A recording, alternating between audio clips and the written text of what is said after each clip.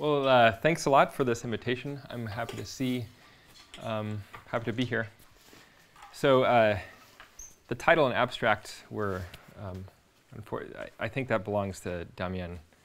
Um, just FY, FYI. So um, everything I talk about today will be joint work with John Francis, and parts will be joint with Nick Rozenblyum and Aaron Mazel-Gee. So my goal for this talk is to, to uh, talk about this, I'll, I'll, call it theorem. Uh, it's, we're not quite finished with the proof. It's been a long time. Uh, so is to, to talk about this, um, how it's related to other things you might know, and indicate some of the, the aspects of, of its proof. And please speak up. I'm happy to, to tailor the, the talk to your interests. So uh, this, uh, this result says, that, says the following. Factorization homology with adjoints, that's, that's a term which will be described in a bit, defines a fully faithful functor from an infinity category of pointed infinity n categories with adjoints to space-valued functors on a category of solidly framed stratified spaces. Now, that's, that's a lot of, of jargon. Um, and again, much of the talk will be uh, unpacking some of that jargon. And uh, it's not any old functor. It's one that has the following values. So if you take a pointed n category, the value on a, hemis on a, a closed k-dimensional disk will be the space of k-morphisms in the, category, in the n category. And the value on Rk will be the space of k endomorphisms of the distinguished object. so here, uh, the white part is repeating what I said in words. And I will indicate um, some parts of the right-hand side before actually defining it more thoroughly. So again, uh, the domain of this functor is an infinity category of infinity n categories with adjoints. Uh, if you're wondering what is meant by saying with adjoints, that's to say this. Each k-morphism in it has both a left and a right adjoint for k between 0 and n. And uh, again, the right-hand side, the codomain of this, is space-valued functors on, on a, some very peculiar category of solidly n-framed stratified spaces. So let me, before saying, giving a, a specific definition of that, let me indicate what an object is. so an, an object in that MFD category is a stratified space. Uh, strictly speaking, it's what we call conically smooth. That's just a type of regularity that ensures that every stratum is a smooth manifold. And furthermore, the links between two strata have some regularity to them. Think of Whitney stratified space. So an object is a stratified space, but not just a stratified space alone. It's solidly n-framed. And what's meant by that is that uh, it's equipped with an injection of its tangent constructible bundle into the trivial rank n bundle. So an example of an object, then, is just a smooth n manifold equipped with a parallelization. Another example of an object is, for instance, a point equipped with uh, the unique um, injection of its tangent bundle, which is the zero vector bundle, to the trivial bundle. Um, so that's, uh, uh, in, in just a moment, I'll compare this result to other things you might be familiar with. I'll say right off the bat that um, one of the reasons for that conjecture altogether is that essentially an immediate corollary is a proof of the tangle hypothesis, as well as the cobordism hypothesis. to see the logic for how that assertion implies this is, uh, is posted on the arXiv. Um, there's a related conjecture to that one. It's like the k-linear version of that one. I'll just, uh, I, I, think I'll let you read this. What's that? Is, is every const- stratified space has an injection? A tangent space Tx to RFA? Uh, it's equipped with an injection. Uh, so, so the data. What's that? It may not happen always. That's right. Yeah. And, uh, thank you. So in fact, if the stratified space has dimension greater than n, then there is no such injection. So, so this structure of there being an injection uh, requires the ambient dimension of the stratified space to be no bigger than n. That's, yeah, that's right. so there's a k-linear version of that, which uh, we haven't given substantial thought to, but expect for it to be true. So I'll just state it as a conjecture. Uh, this conjecture is proved um, in dimension one in uh, joint work with those, those, all those names up there. And I'll just leave this here for you to read as you wish. So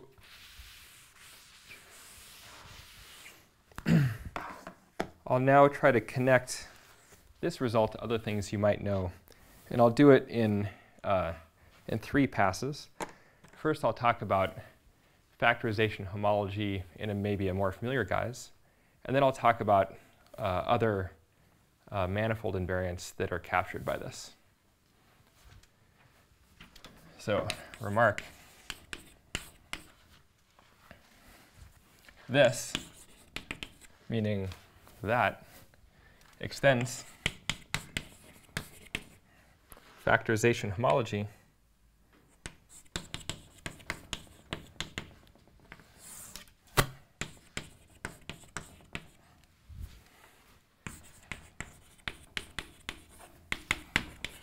of EN algebras. uh, in the following sense. So uh, EN algebras count as examples of n categories with adjoints. In fact, pointed ones. Namely, given an EN algebra, uh, you can construct an n category from it that has a unique object, a unique one morphism, etc., a unique n minus 1 morphism, and then that en algebra worth of n morphisms. That construction is a d-loop construction n times, so bn. This is in fact fully faithful.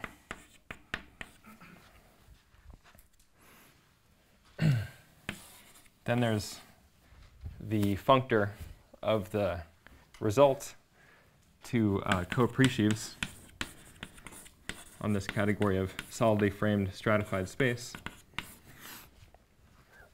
And the sense in which uh, this factorization homology is compatible with the one already that you might be familiar with for EN algebras is that if you take an EN algebra, its value on at least if you evaluate on not any old stratified space, but a stratified space that's just a stratification of a smooth n manifold.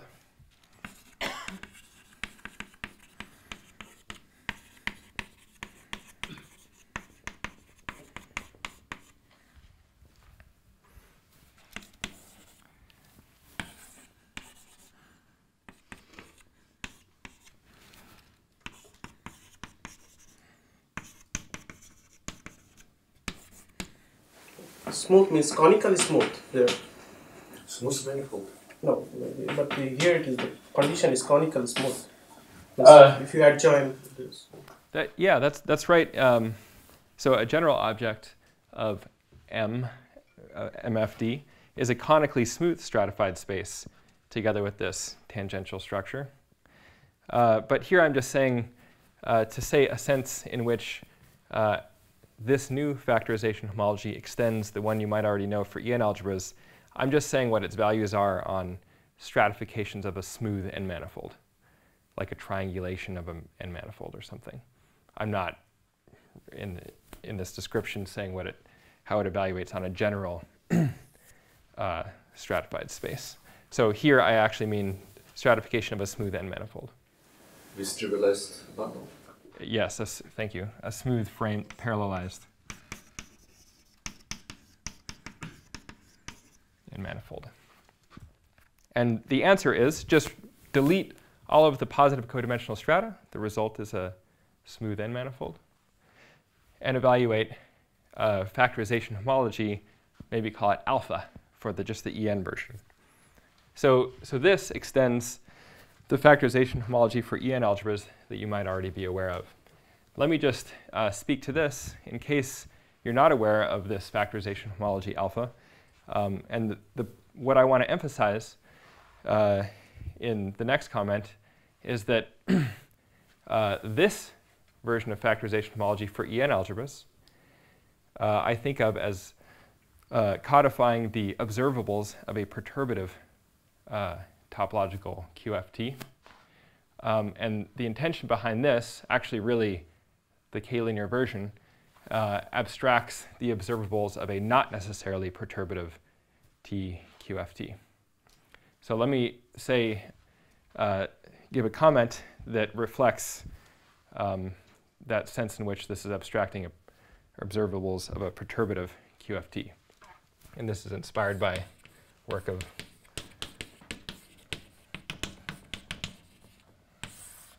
those books. so, uh, for example, if you so fix uh, a field, let's just say characteristic 0, and a point in a uh, derived k-scheme,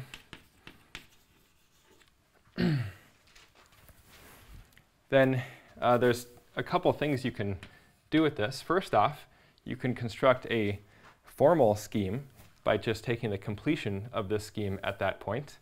So this constructs a formal scheme, denote it like that. And it also constructs a uh, Lie algebra, namely the tangent complex at that point. So this is a Lie algebra. And uh, these uh, Koszul duality articulates a sense in which these two objects determine each other. uh, given a Lie algebra, there's a formal construction uh, this is present in a paper of uh, Ben Knudsen that constructs, I'll put an E n on the top of that. There's a En tangent complex version of this, which is an En universal enveloping algebra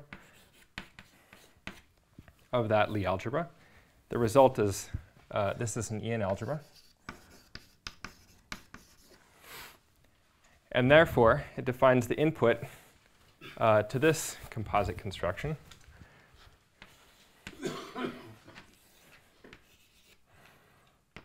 So I'm going to say what this is when that's closed,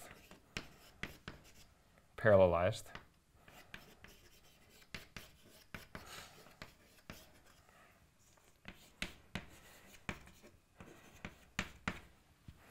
And the result here is some k module.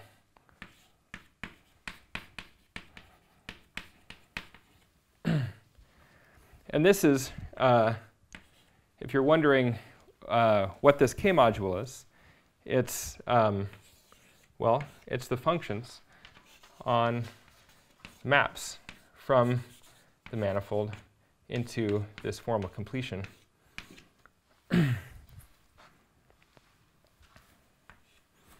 so, uh, Sorry, where's number n? Uh, number n on the right? Yeah, th that's that's the feature. It's not well. That's the dimension of the manifold. so uh, the the functions so on this the observables of this uh, so uh, well anyway here, What is M? M is smooth over complex numbers and or over this K. um, M is a closed parallelized smooth n manifold. Over Smooth C infinity. C, C infinity n manifold. And maybe you're asking that to know what is the meaning of this, because the the field you specified K right, with the characteristic P Yeah? and M is over characteristic zero. I'm sorry for uh,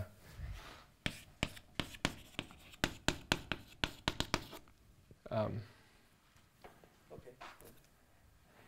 right in this step in that the way that I use Koszul duality, I don't know it without the characteristic zero assumption. Um,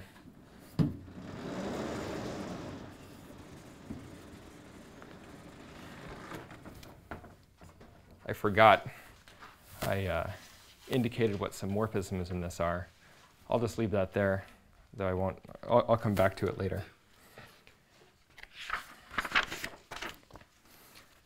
Um, as another remark, I'll indicate another value of uh, factorization homology. Um, so up there, that previous remark said that it agrees with um, factorization homology for EN algebras.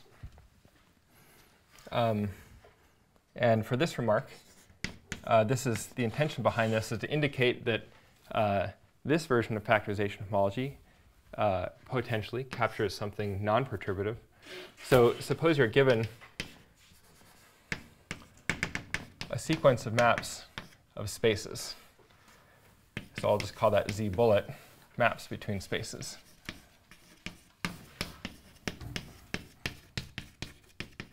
Like homotopy types. So from this, we can construct a couple things. One is C sub Z bullet. This is an n category with adjoints. Let me say what, I'll describe it just by describing what the space of k-morphisms is. Um, with k-morphisms, with a k-morphism. well, it's a map from uh, this flag of spaces to that flag of spaces, where what's, what's the domain here? It's the uh, flag of spaces uh, given by the various skeleta of the closed n disk uh, regarded, say, as a CW complex via the hemispherical stratification. So the hemispherical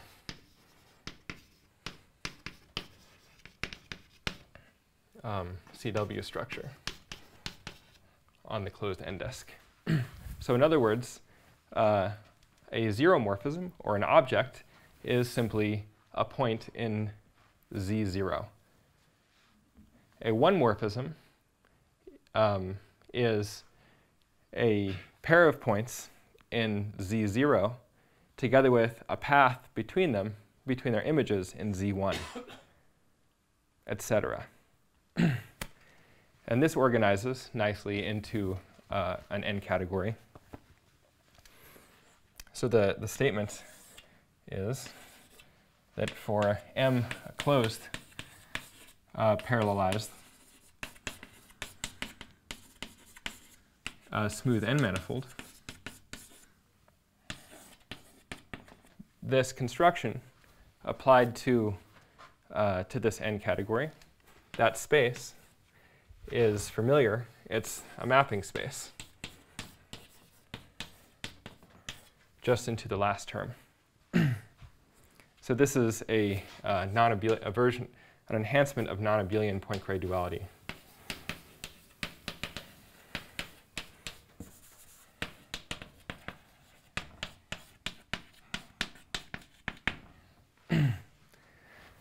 Um, oh, I should have said uh, there's always a map, and it's an equivalence provided uh, the map from zi to zj for each i less than or equal to j is, is i connected.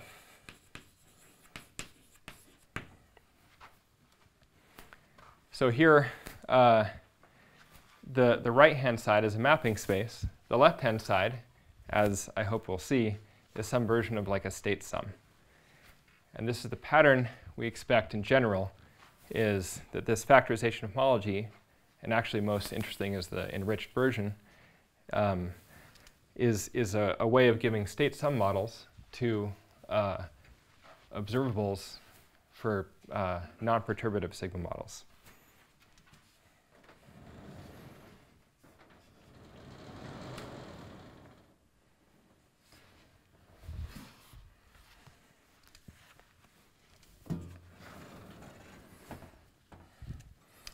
So uh, the next thing I'd like to, to talk about is uh, how, uh, how that result is related to three possibly uh, also familiar constructions of TQFTs. And uh, I'll just reiterate that my goal here is to, um, is to see how to use this result to capture stuff that's familiar to, to you, possibly, uh, and also extends um, your imagination to what, what else might be capturable. So there's three types of manifold invariance that are easily captured by, um, by that, that result. So there's the I'll call the first one the Jones type. Because this captures uh, a version of the Jones polynomial. So take a non-empty. Manifold means smooth manifold. What's that? Manifold means smooth manifold. Um, yeah, so I will always, by manifold, let's just say I'll mean smooth manifold for this talk.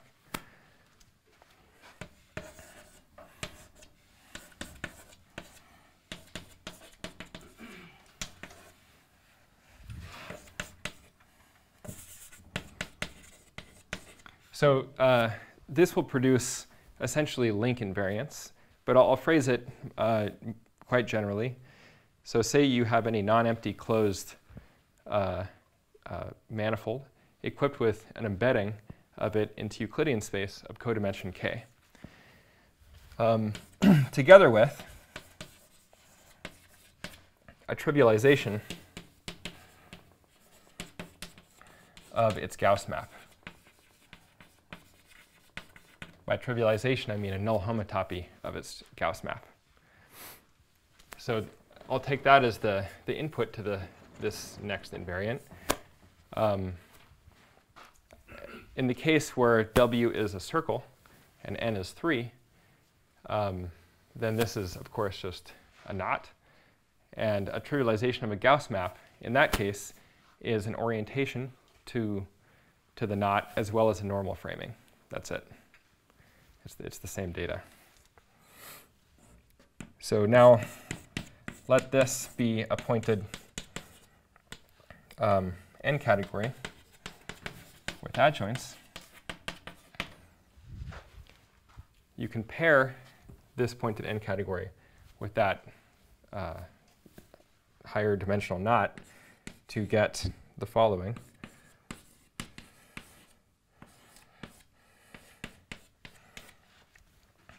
A map from k endomorphisms in this uh, of that distinguished object to n endomorphisms of that distinguished object as follows.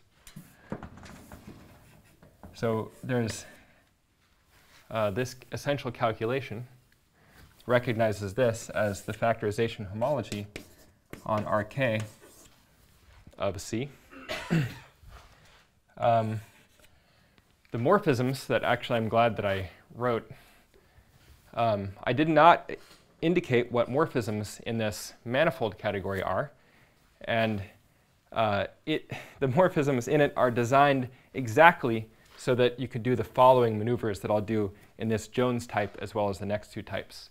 And one of those maneuvers is I want morphisms in this manifold category, in particular to be opposites of surjective fiber bundles. So here's a surjective fiber bundle. Using that W is non-empty,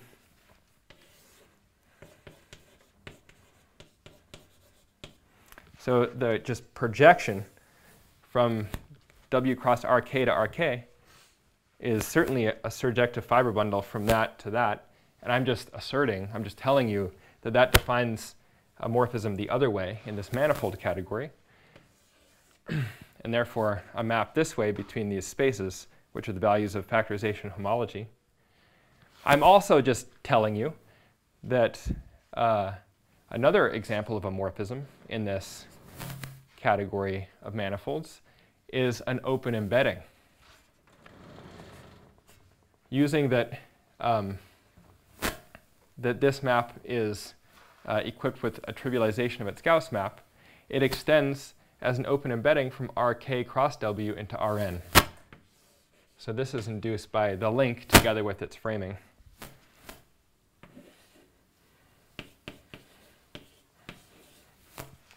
And then the calculation up there identifies those as well. So uh, that's what this composite map is. And I call it the Jones type because in this example, it literally is the Jones polynomial. So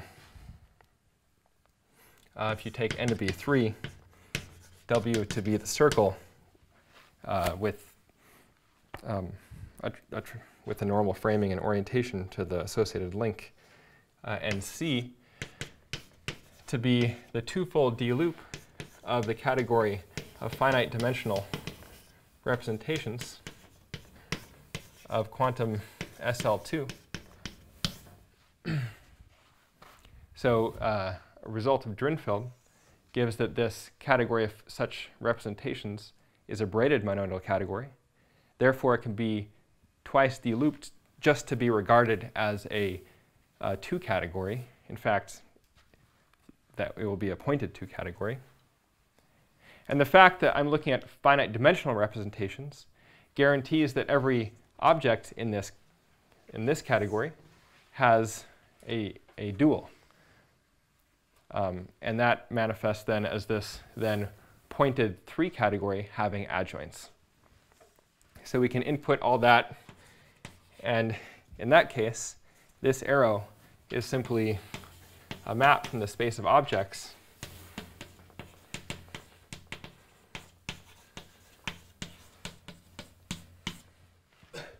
of this to uh, the space of endomorphisms.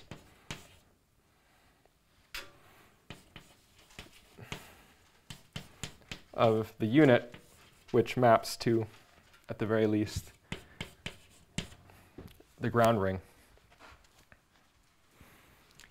And this is the colored Jones polynomial.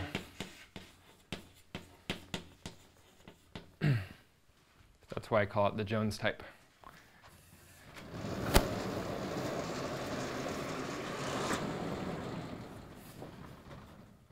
Is that gone forever? Ah.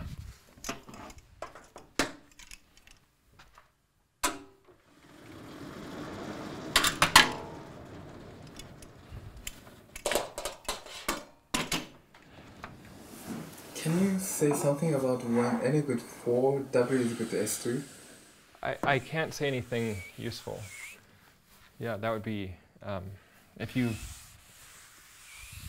I would be keen on anything anybody has to say about that.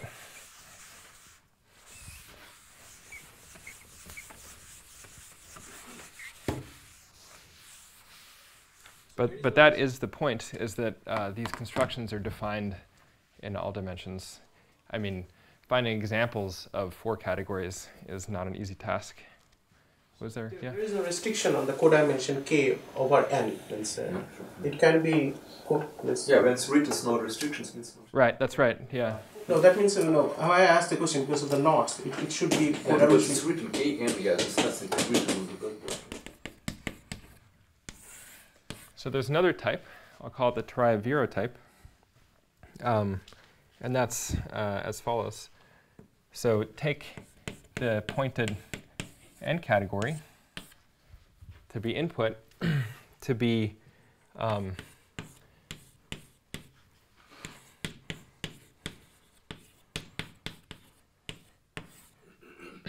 now this this requires some explanation. So uh, so just an aside, a quick note on some formal category theory is so from when n is equal to 1, I'll say, I hope um, this has meaning to you. It's the full subcategory of all K modules, just consisting those consisting of those generated from K by finite colimits, and then by retracts thereof. So uh, these is perfect K modules. Um, it has a natural uh, symmetric monoidal structure, just given by tensoring two together. Um, as so, uh, you can look at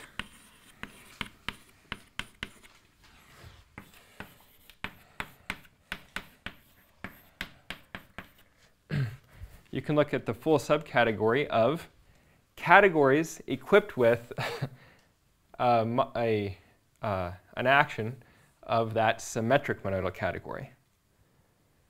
And then you can look at those generated from this itself under, again, finite colimits and retracts, etc. And that, again, has a symmetric monoidal structure, so this can be repeated, uh, there, thereby defining perf nk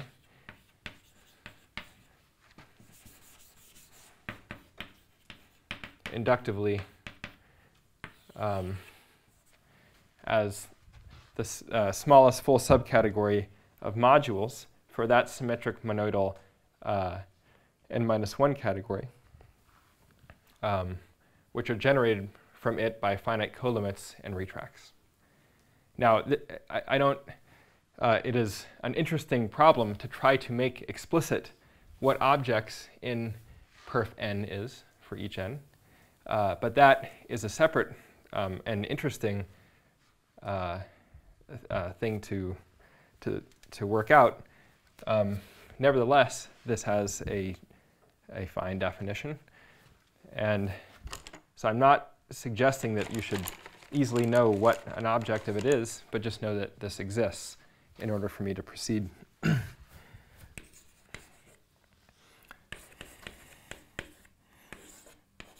So if we use the enriched version of factorization homology now, this is the, uh, for this next type of manifold invariant. Well, factorization homology of the, the, the k-linear category that's as trivial as possible, it's point, point, point, and then at the very top is just k, um, is just k, certainly. Um, and the uh, this point in there. So this is determined by, uh, by uh, x can be selected out by a morphism from this very simple, this is the role of point. Uh, so a map from this into perf nk selects out that curly x.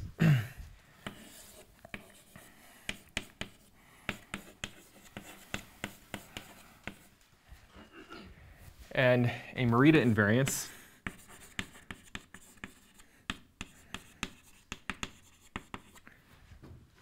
um, in this enriched case, identifies this with k itself. And here, in case, because I didn't say, this is a closed parallelized n manifold. Uh, the composite number then is, is an element of k, or a number. If you're wondering why you might expect this Morita invariance? Well, there's uh, a key example, and the proof of this is the same premised on a type of excision for this, for that, that thing. and uh, so I'll just mention that in the case of dimension one, um, this is nothing other than the Hochschild homology of this k-linear category. And by a trace map, for instance, that implements an equivalence between that and k. And uh, well, this is a conjecture, but uh, we expect for that uh, Morita invariance to still be true as implemented by a higher version of a trace. So premised on that, this defines a manifold invariance. Uh, for, uh, given um, an object in perf n. I call it Turaev-Viro type because when n is equal to 3 and x is um, so an object of perf 3 is a certain example of, with some finiteness conditions, a k-linear 2 category. And if you take it to be the D loop of R, where R is a, a fusion category, so a, a monoidal category, a, a monoidal k-linear category uh, with duals, um, which is semi-simple and has finitely many simple objects. So in addition to having R having duals, to be in perf in that particular case amounts to R being uh, semi-simple and having finitely many simple objects, as well as a condition about the endomorphisms of its unit. So in that case,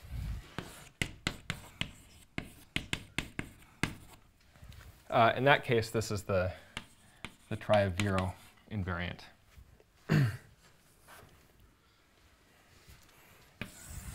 and the third type is the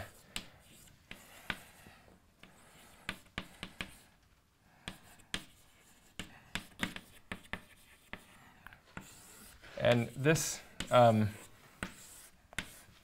so the, the Turaev-Viro type is premised on some features of this conjecture. I'll just make that clear. But those are features that, if anything is true, uh, then, um, then, then those should be true. Uh, this one I have less confidence about, so I'm mentioning it to, to more just spark your imagination. Um, is so if C is just formally equipped with a certain trace map or an action,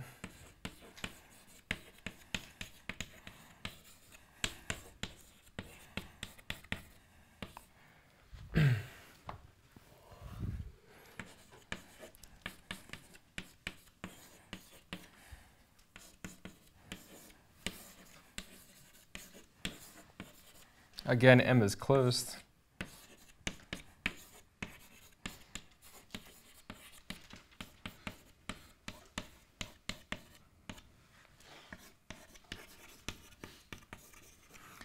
Then uh, the partition function with respect to that trace determines another manifold invariance. Um, and I'll just give the uh, an example. So if C is finite dimensional is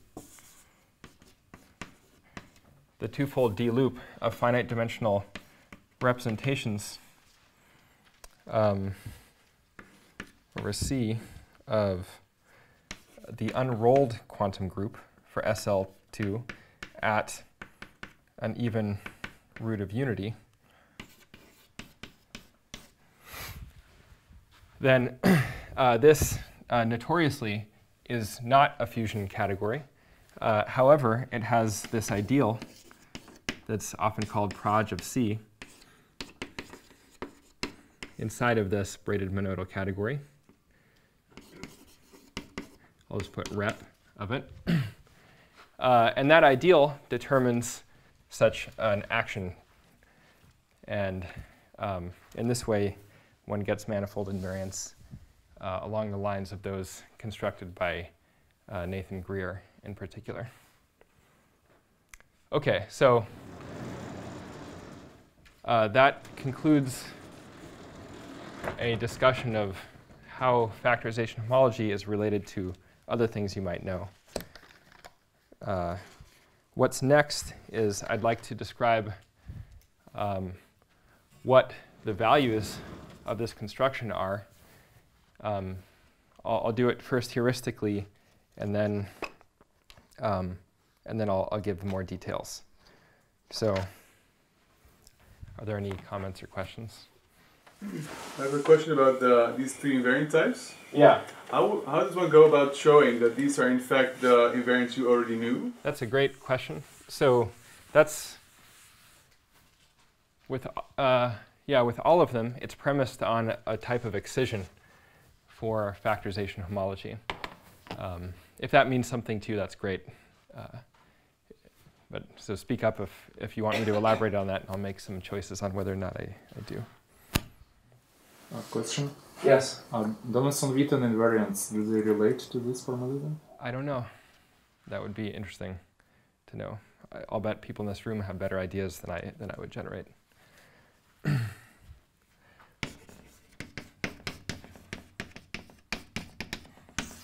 so let me indicate now the heuristic for what the values of this are. And uh, as I do this, I, I want, I, I neglected to emphasize a point, which is that um, somehow I, I, feel like um, saying it this way is like what is being emphasized is that this is fully faithful. But um, even before that, it's just to emphasize that it's even just a functor. like that it even exists, it's defined, that there's a way of constructing um, invariance of manifolds from an n category at all, fully faithful or not. For indeed, the results are not just a way of assigning some value to every manifold given a n category, but that value has an action of the topological group of diffeomorphisms of the manifold. It's completely coherent and co continuous, more than just being fully faithful, or in, let alone being fully faithful. So the very heuristic is, is, is the following. So again, let's just, for discussion's sake, take M to be a, um, a closed smooth n manifold, and C is a, a pointed n category. So this is, a, informally, this is a moduli space of C-labeled disk stratifications.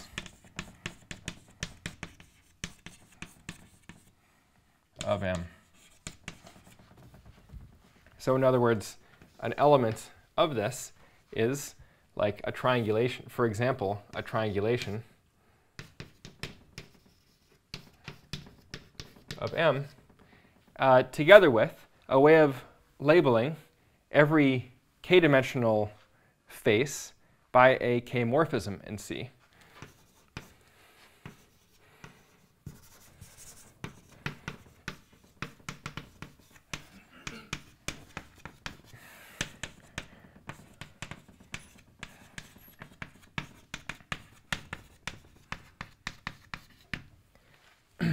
but not any random way of making such assignments, but in such a way that, uh, for instance, if k is 1, so uh, we're looking at a, an edge in this triangulation, uh, that edge uh, inherits is sent nearly a direction from the ambient parallelization of M.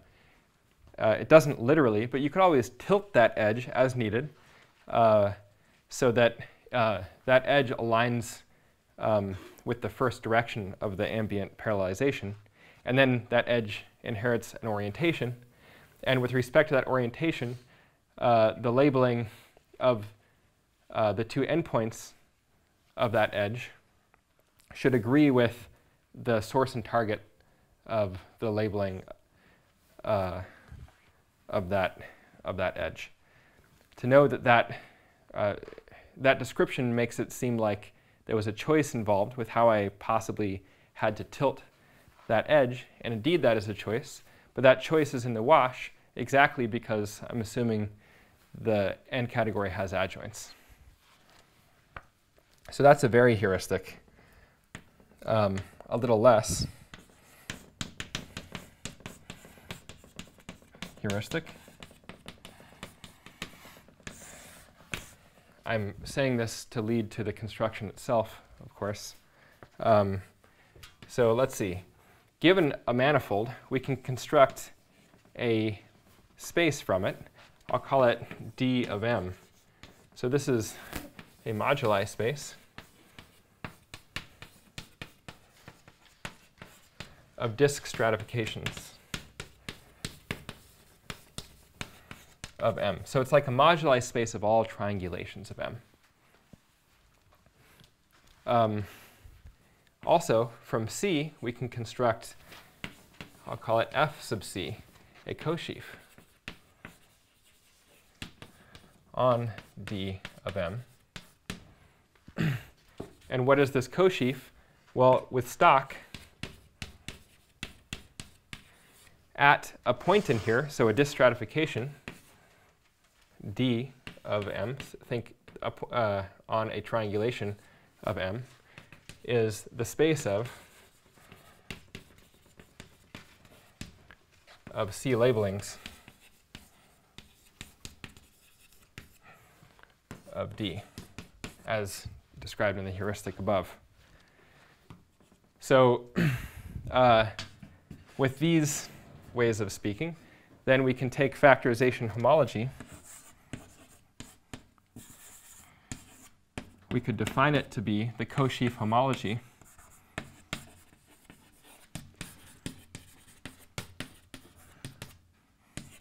of f sub c. So that, that's an idea, and it's an idea toward a definition of factorization homology.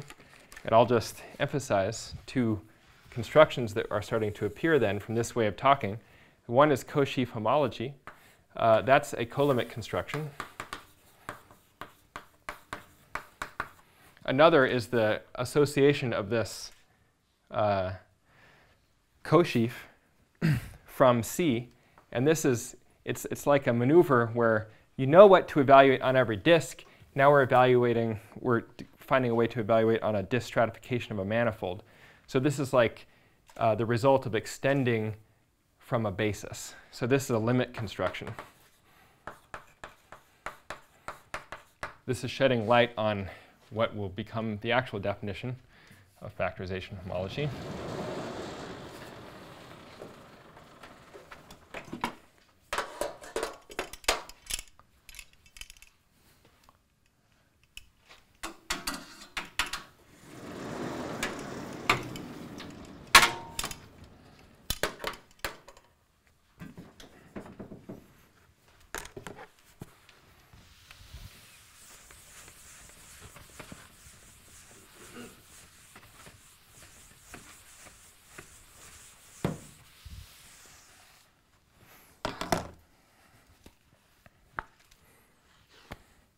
Okay, so now, better still.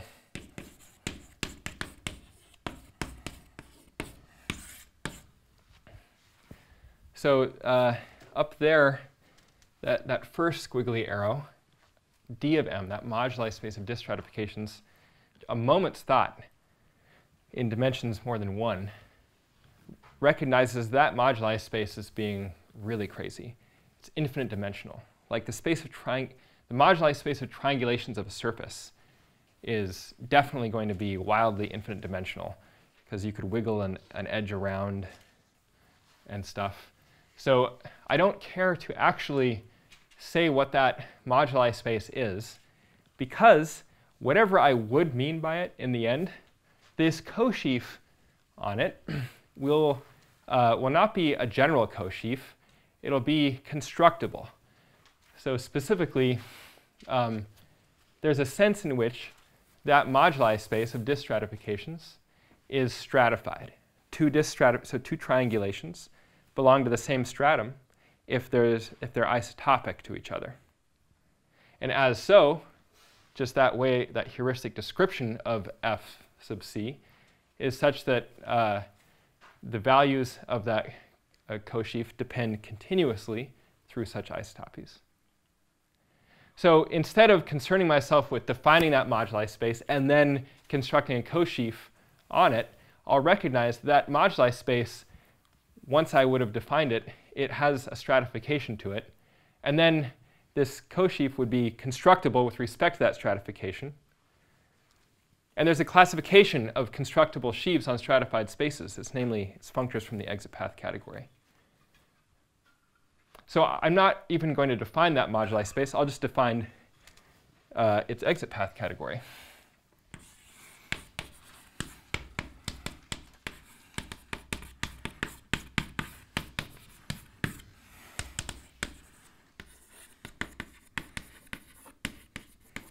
I'm, and I'm only going to be interested in that so that I could then hopefully organize the data of an infinity n category to construct a functor from, from it into spaces. And then define this to be the colimit of that functor. So the intention with me talking in this way was to make it um, seem more plausible to even implement this construction through standard categorical constructions. So in the remainder of the time, I'm going to indicate what this infinity category is. Any comments or questions?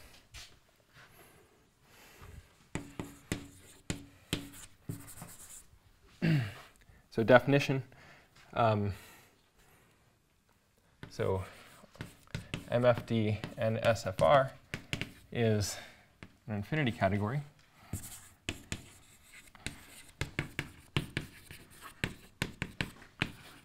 With um, an object, or for which an object is. uh, I set it over there. It, it's a, a stratified space, X, together with an injection of its tangent constructive bundle into a trivial rank n bundle.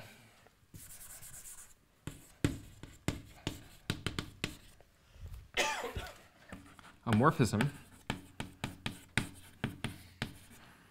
is, so I hope, good, I left it.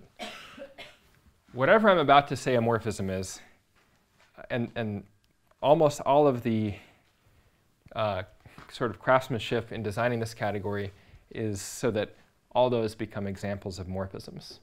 So I'm going to say what a morphism is, and then I'll, I'll say how those give examples. A morphism is a, constructible, a constructible bundle. I'll say what that is momentarily.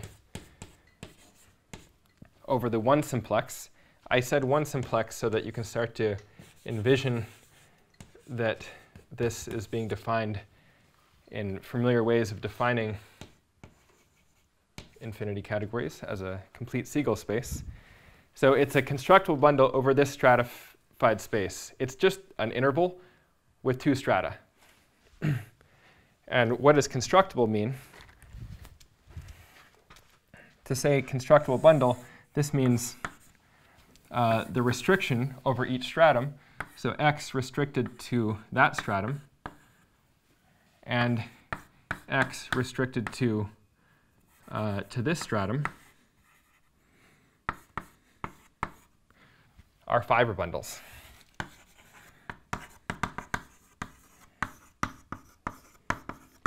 Of stratified spaces, of course. so the topology in the fibers of this map uh, doesn't change anywhere except as you jump, uh, jump across from that point to the, to the other stratum. Together with an injection from the fiberwise tangent constructible bundle into a trivial rank n bundle. And I won't even say, I'm supposed to be defining an infinity category. What's the composition rule? Well, informally, it's given by concatenating two such things along their common boundary. A little more uh, precisely, it's given by constructible bundles over two simplices and simplices in general. But I'll, I'll just leave it at this.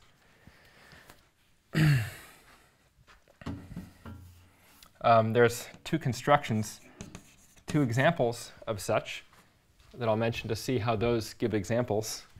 So um, if you have x0 to x1, a, uh, a refinement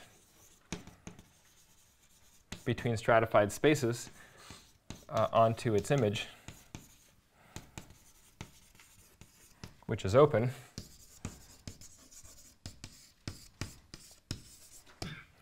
Then there's a construction you can do from it, call it the open mapping cylinder, sil O, O for open. And it's defined to be x 0 across the closed interval union x1 cross the half open interval over x0 cross the half open interval. And this way of talking evidently gives a canonical map down to the closed interval. And that canonical map is uh, a, a constructible bundle. I won't mention the tangential structure that comes along for the ride.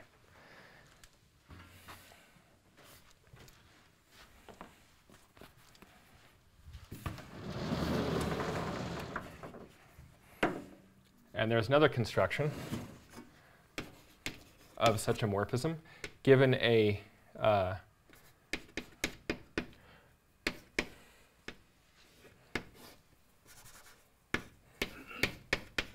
given itself a proper constructible bundle. There's a reverse mapping cylinder construction.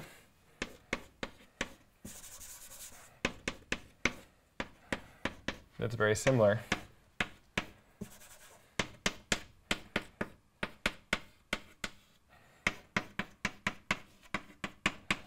And this too is equipped with a natural map to the closed interval, making it a constructible bundle. And there's a fact that this, these two classes of morphisms in this category MFD, or uh, this manifold category, generate all of them. These types of morphisms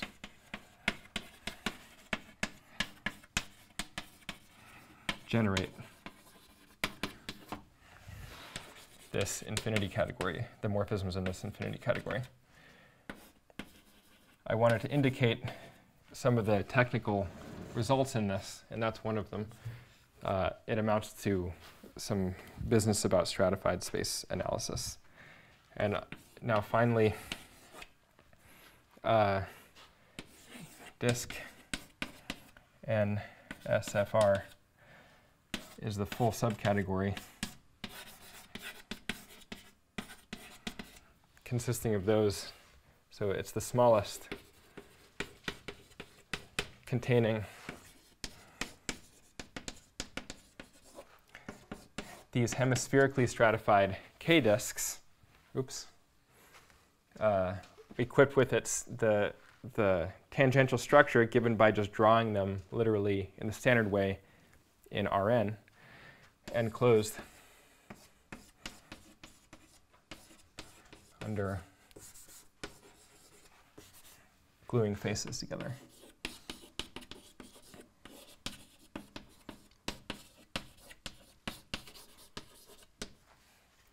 So then uh, to finish over here, uh, I wanted to say what this infinity category is, and I'll say it now so that you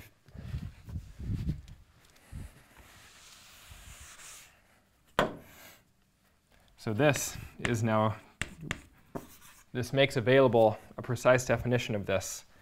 And a precise definition is definitely necessary to get anywhere with this.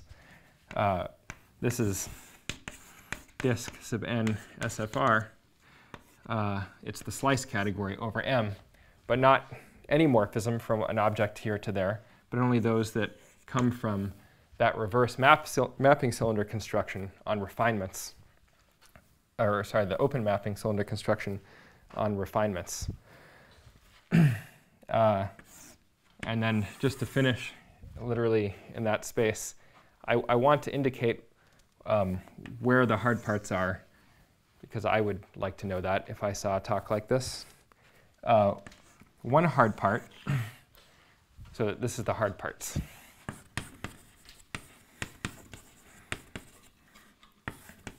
One hard part is matching together essentially the higher categorical uh, uh, adjoints and this tangential data of solid framing.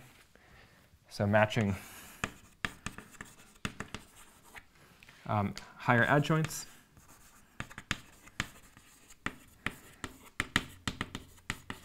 and solid framing.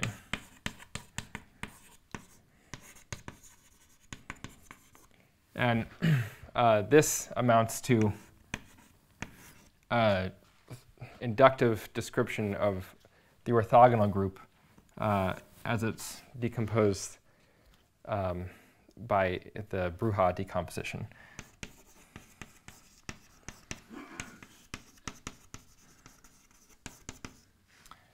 I'll say of GL and of R. I said I would fit it in that little space, but I, I guess I wasn't able to.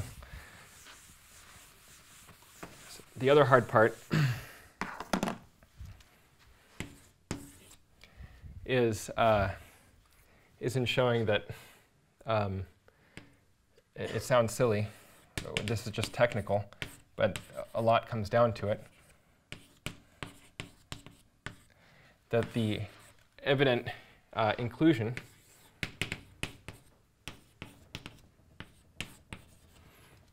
is final, which is to say that colimits computed by indexed by this agree with colimits computed by this. Um, and the, the, the essential technical stuff behind this, much like the Bruhat decomposition comes in there, is existence of common uh, disk refinements, in, even in families. Um, so this, I think of this as some version of Whitehead's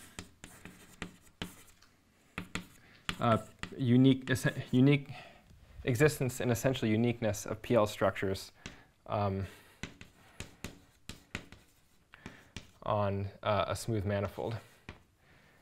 And the, we had to develop some category theory in order to proceed with this. And so I'll just mention there's a paper called Fibrations, or Fibrations of Infinity Categories.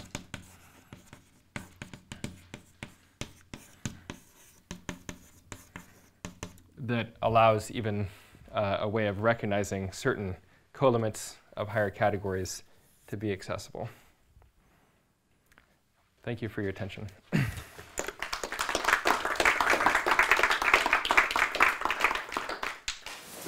questions? I think it, you promised also to say a few words about the essential image of this function. Oh, I, yeah, I don't. Yeah, so um, there, there's a, a, so not part of this conjecture is, but we still expect it to be true, um, is that the image is as follows. Uh, it's, it's characterized as not any um, space-valued functors on this, but those that satisfy two descent type properties. The first is that, um, so if you take a stratified space and just break it up as a union of its closures of its strata, the, then that determines a certain kind of cut-paste type cover of it.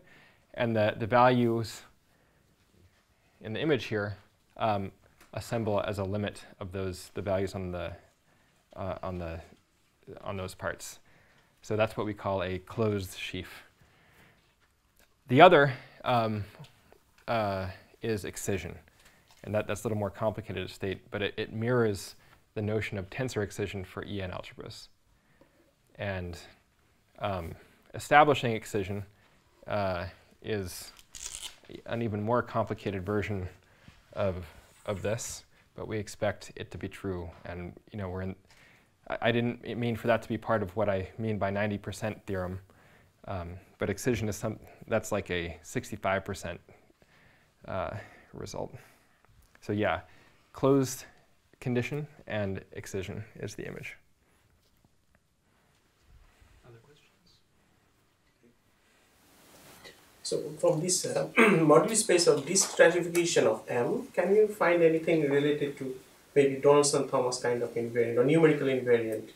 Is this possible? Because I, I understand this is infinite dimensional. Maybe part of it contains some cycles that you can integrate out, some numerical thing.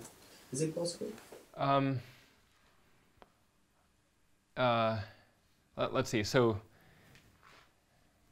uh, I guess very similar is just in general a moduli space of stratifications of like a smooth four manifold. In particular, in there are those stratifications just by an embedded closed surface.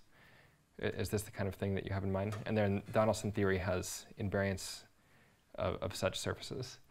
Um, I I don't know.